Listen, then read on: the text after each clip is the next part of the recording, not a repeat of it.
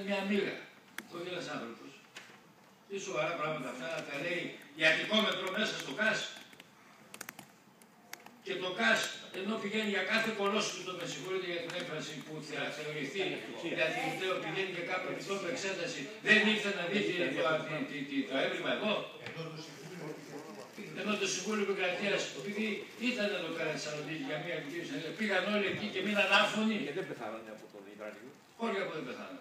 okay.